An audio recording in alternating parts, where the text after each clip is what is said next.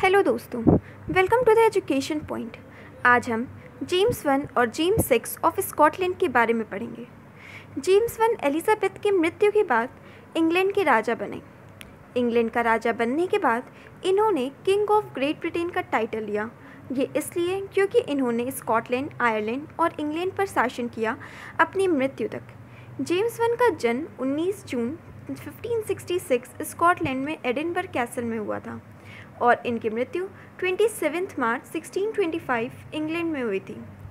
James one इकलौते बेटे थे, हेनरी क्वीन ऑफ़ स्कॉट्स और उनके सेकेंड हस्बैंड लॉर्ड डानले के जब जेम्स वन पैदा हुए थे, उस समय स्कॉटलैंड की सिचुएशन पीसफुल नहीं थी, क्योंकि मैरी क्वीन और उनके जो हस्बैंड थे, दोनों कैथोलिक थे।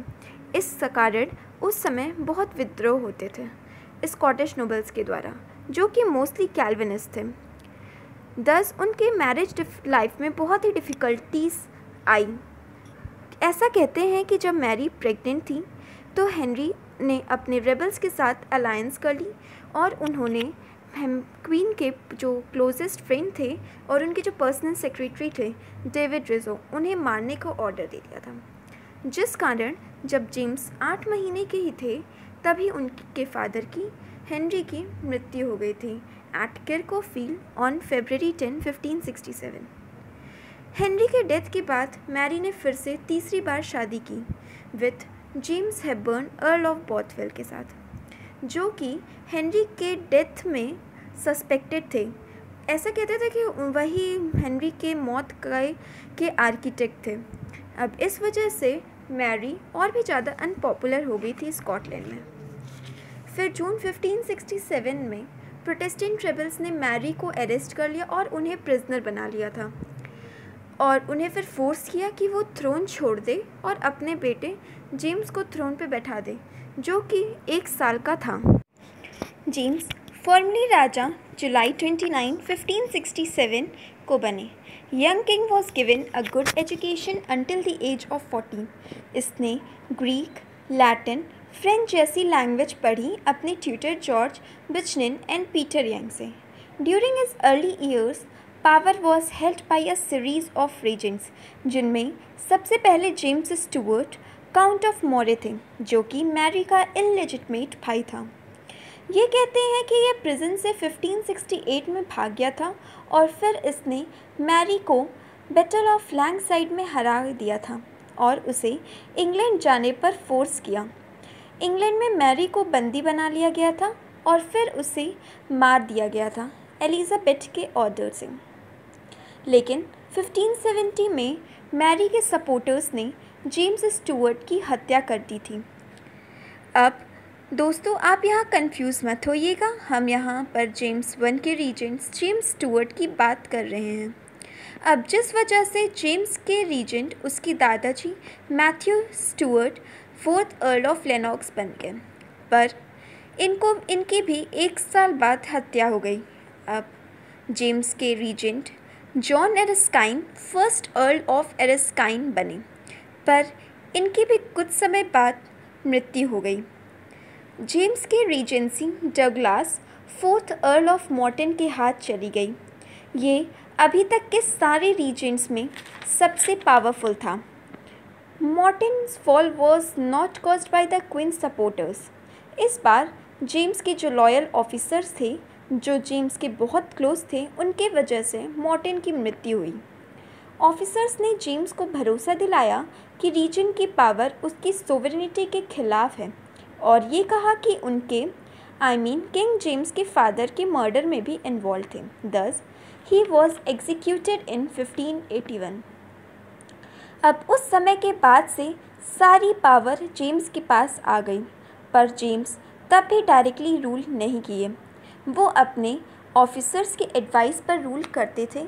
उनके भरोसेमंद ऑफिसर्स थे duke of Lennox and James Stuart जिन्हें उन्होंने अर्ल ऑफ़ एरन का टाइटल दे दिया था।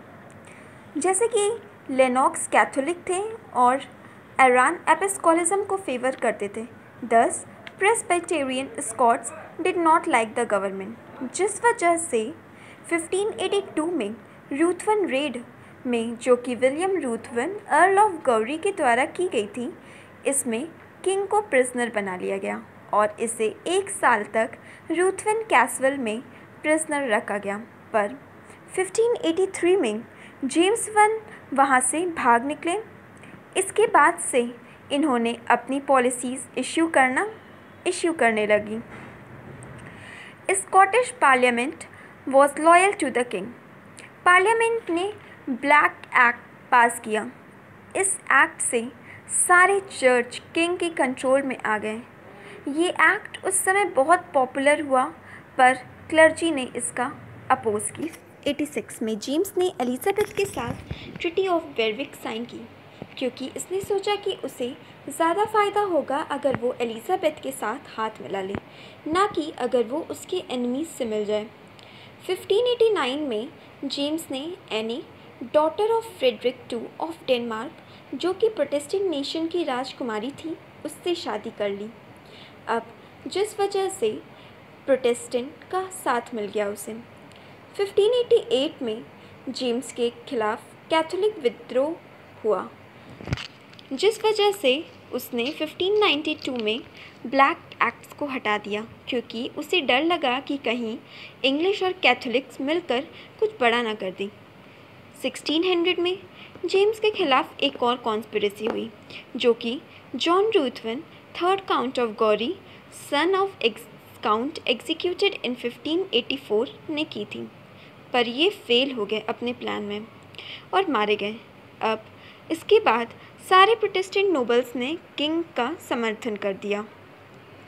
कहा गया है कि जेम्स की शादी पहले बहुत अच्छे से चल रही थी, पर उनकी बेटी सोफिया की डेथ के बाद दोनों अलग हो गए। Thus James rule was successful in England अब 1603 में एलिजाबेथ की मृत्यु के बाद सक्सेशन काउंसिल ने जेम्स को king of England and Ireland घोषित कर दिया। इनकी ताजपोशी twenty fifth July in Westminster Abbey में हुई थी। पर कभी भी स्कॉटलैंड और इंग्लैंड एक राज्य नहीं बन पाए। ये हुआ तब जब एक्ट ऑफ़ यूनियन पास हुआ वो सेवनटीन नॉट सेवन में। James absolutism which means his theory of absolute monarchy मतलब ultimate authority of state is vested in the hands of king जो भगवान द्वारा प्रदान किए गए राइट से रूल करता है और उसकी गैर जिम्मेदारियों की वजह से इंग्लैंड में वह बहुत ही अनपॉपुलर हो गया। इसने महज चार साल के इंग्लैंड, चार साल के राज्य में इंग्लैंड का डेप्थ पहले से दो गुना कर दिया था। इन्हीं सब कारणों से जेम्स और इंग्लिश पार्लियामेंट में हमेशा कॉन्फ्लिक्ट्स होते रहते थे।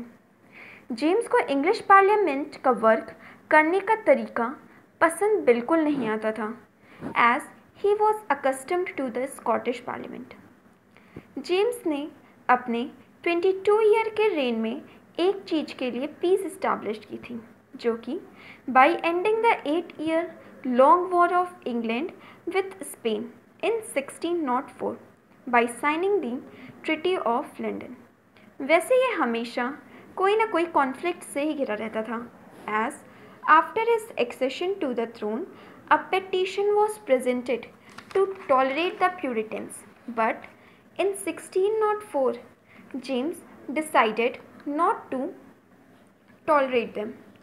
Instead, he granted them translation of Bible known as King James Bible. James ने कैथोलिक्स को भी बहुत ही गुस्सा कर दिया था वैसे ये स्टार्टिंग में कैथोलिक्स के तरफ बहुत फेयर था और इसके प्रोटेस्टेंट पर ये इसके प्रोटेस्टेंट सब्जेक्ट्स को बिल्कुल अच्छा नहीं लगता था। और वे नहीं चाहते थे कि कैथोलिक्स को भी इक्वल राइट्स मिले उनकी तरह।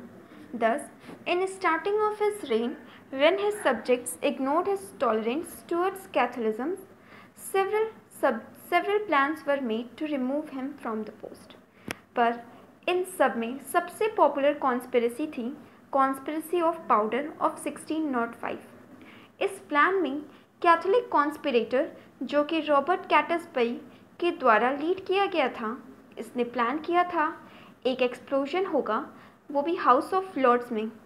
उस वक्त जब दोनों हाउस के मेंबर्स वहाँ मौजूद होंगे, पर यह कॉन्स्पिरसी डिस्कवर हो गई थी और जेम्स ने कैथोलिक को उसके कारण पूरी तरह रिप्रेस कर दिया था। जेम्स को फिजूल खर्ची करना बहुत पसंद था, लेकिन जब पार्लियामेंट ने जेम्स के को एक्स्ट्रा पे देने को मना कर दिया, तब जेम्स ने नए टैक्स लगा दिए, पर वो भी पार्लियामेंट से बिना पूछे। उसके बाद जेम्स का सबसे विश्वसनीय, रॉबर्ट सेसिल, जो कि चीफ मिनिस्टर था जेम्स का, उसने 16 नॉट 10 11 में किंग के लिए फिक्स्ड अमाउंट का पे पार्लियामेंट्स के सामने पेश किया, जिसे ग्रेट कॉन्ट्रैक्ट कहते हैं। पर पार्लियामेंट ने इसे ठुकरा दिया था। जिससे जेम्स और जिससे जेम्स ने पार्लियामेंट को डिसॉल्व कर दिया था 1611 में। 1612 में जब रॉबर्ट सिसिल की मृत्यु हो गई और ग्रेट कॉन्ट्रैक्ट भी खारिज हो गया, वो साल जेम्स के लिए एक टर्निंग पॉइंट रहा। इसने अपने, उसके बाद इसने अपने 10 साल के रेन में ब्रीफ एडल्ट पार्लियामेंट को समन कर दिया था। James continued Elizabeth's golden age for literature and drama and writing his own works. After his death, his son Charles one came to the throne. Thank you. अब हम Charles one के बारे में अगले लेक्चर में पढ़ेंगे। अगर आपको मेरा यह वीडियो पसंद आया हो तो इसे प्लीज़ लाइक एंड शेयर कीजिए और मेरे चैनल को प्लीज़ सब्सक्राइब कीजिए।